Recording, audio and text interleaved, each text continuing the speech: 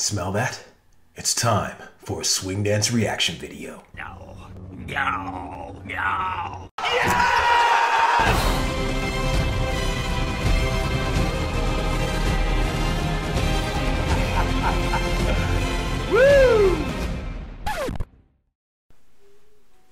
Athens Rhythm Hop.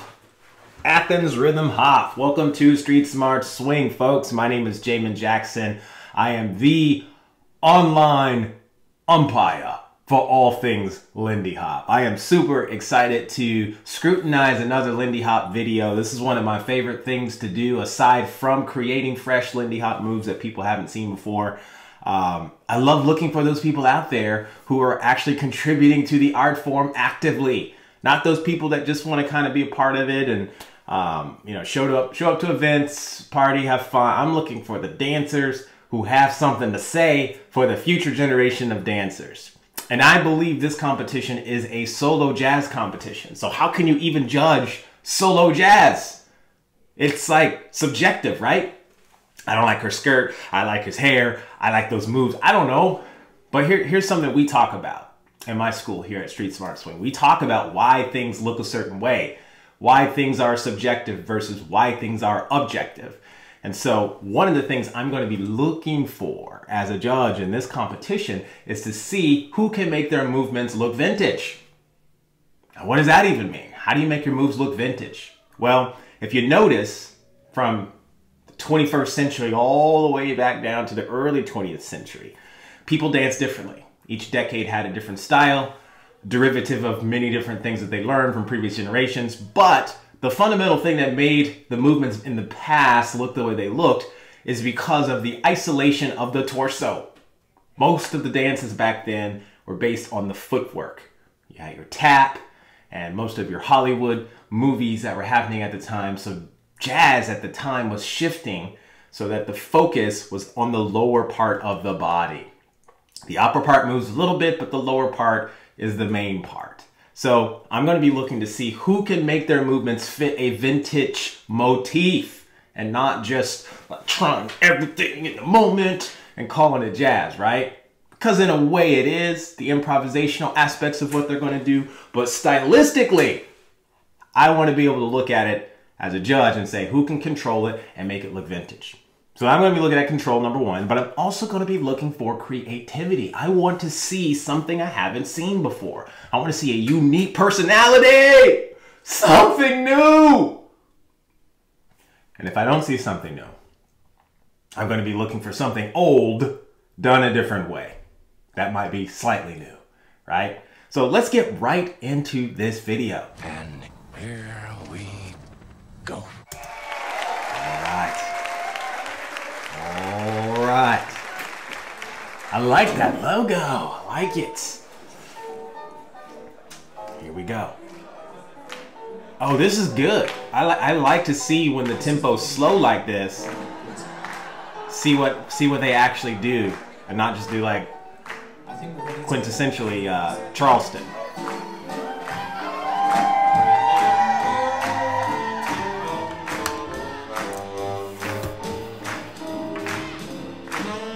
Yes.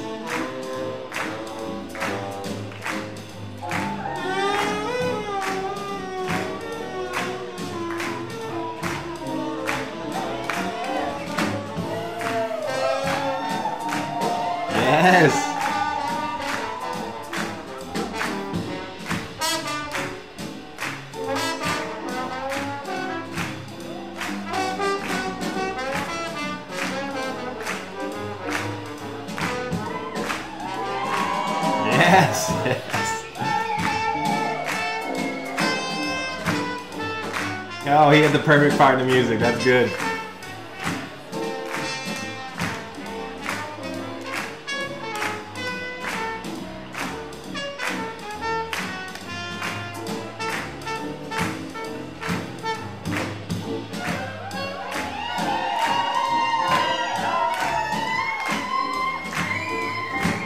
She's got the audience backing her up.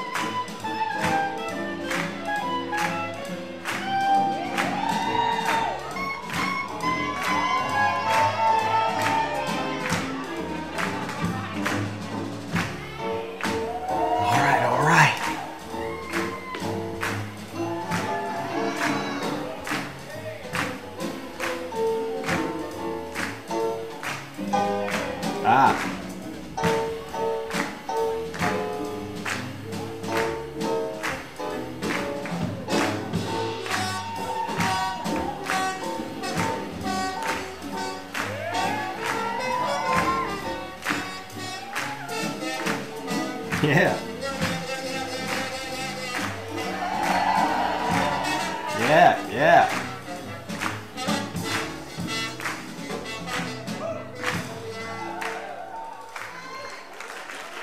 All right, all right. This is going to be interesting. I'm seeing a little bit of personality. I am seeing a little bit of copycatism. I don't know if I like that. But we'll see.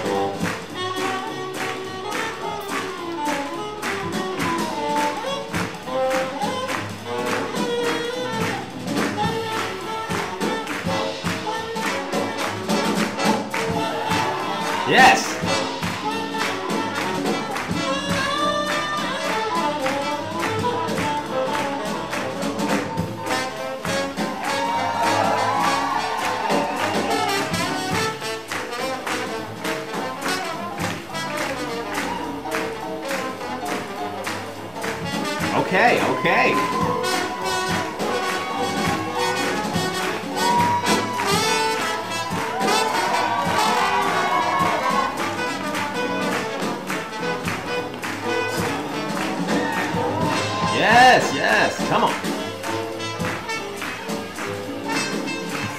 Yes,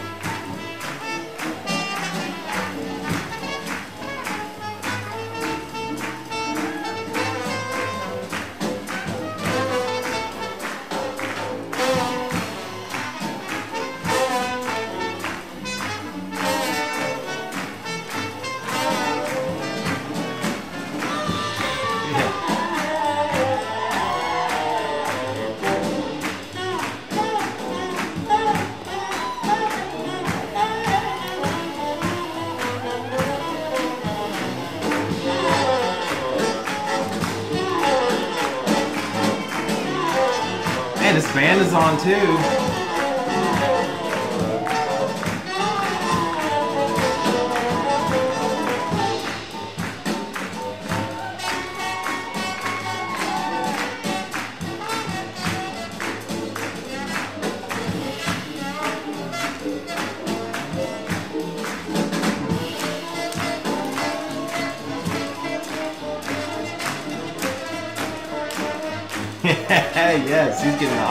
Audience in it.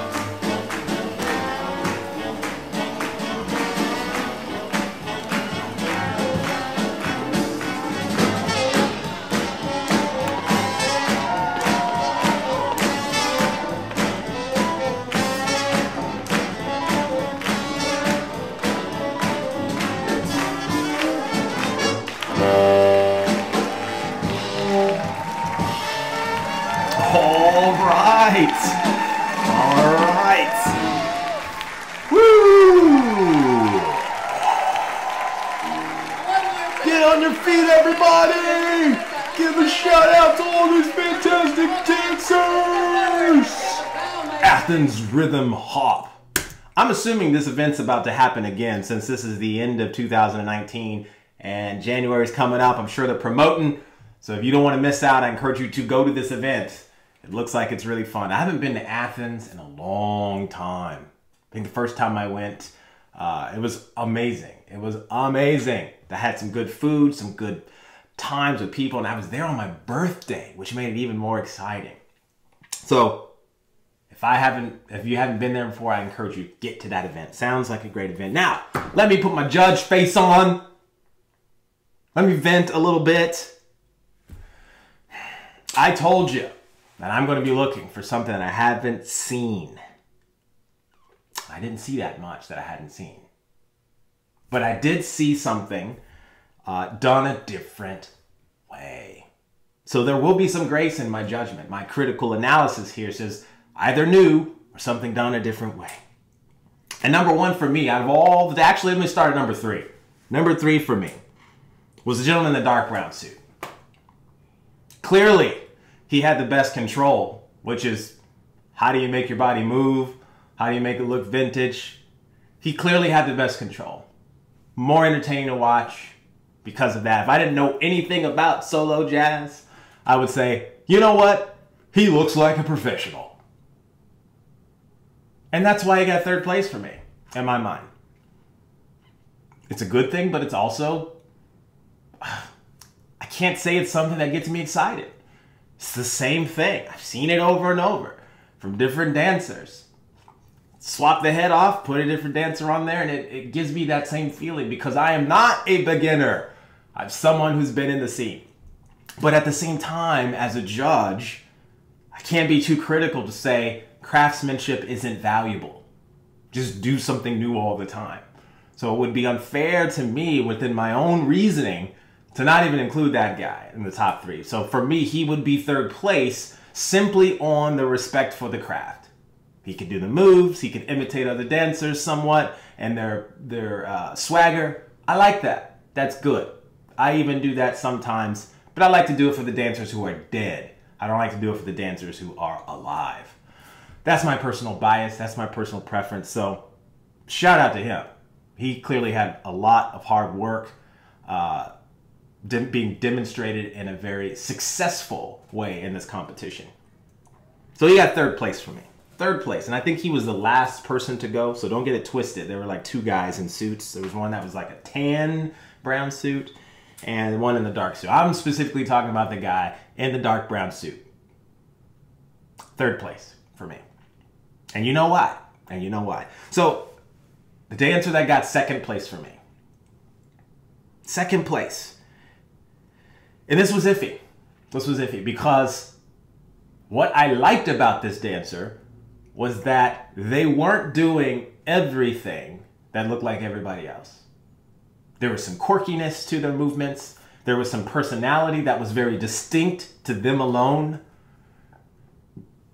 They had some cool syncopations. I wasn't looking at that. They had some phrasing that everybody does all the time. I wasn't looking at that. I was looking at the uniqueness of who they are in a way that lets me know this is potentially someone who's going to start doing new stuff. It's a little bit more creative. And they actually did a couple of things that were different. And I'm going to say second place is the person in the light brown suit. Gentleman had a little bit of curly hair, had the nice hair going out. He did some great stuff. He did some great stuff. Don't get me wrong. It may not have been as technically proficient with the more traditional moves, but the things I liked about it was that he wasn't doing just traditional moves. He wasn't. He was doing like himself. He was being himself. And I could take a snapshot and put that video in black and white footage, and I'd say, yeah, that's a vintage swing dancer and he has personality. I can't tell who it is. If I can take you out of the video and put a silhouette there and I could mistake you for someone else, you lose points. And that's because this is about the balance of craftsmanship and artistry. And I want to see slightly more. This is what keeps the, the dance going upward like this and not backward solely. But we got to go backward to go upward. So Go figure. You gotta have both. And this gentleman had both. So for me, he did some of the stuff, those breakaways, those half breaks, the full breaks. He was doing that, and I saw that. But it was something about his his different personality, his quirkiness, how he was moving his head, that stood out to me. Beyond just the technical perfe- uh, perfection of uh, doing the same moves that we've seen before. So for me, he got second place. People be like, "What? He got second place? He wasn't as good as the guy that was third place. Why'd you put him in third? He compared clip." I told you, because I'm looking for something unique, something different. I'm not looking for solely craftsmanship and how well you can repeat the same thing over and over. That's me. That's me. So my first place goes to the lovely dancer who went out second. She had green on. I really liked her movement. I really liked her movement. I would have been more impressed if she was a little bit more controlled, like the gentleman, the last one in the dark suit, a little bit more discipline in the torso, to a little bit more restraint. But the flowy movements, that's who that's who she is. That's her personality. I could see a snapshot of their personality, and if I took a silhouette, I could say, "Oh yeah, that's her, the girl from Athens rhythm thing." She had some unique movements. She had some traditional movements, and she could execute them.